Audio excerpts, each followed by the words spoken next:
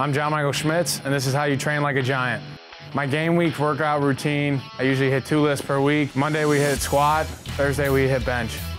Those two workouts relate to my position because, you know, as an offensive lineman, you got to be able to move people, and it's all about to get that depth and squat, uh, especially uh, with your bench press. You got to press people off you and strike. My prehab starts with stretching, rolling out on a roller, just staying on top of your body so you, your body doesn't get beat up throughout the whole week. I'm John Michael Schmitz, and that's how you train like a giant.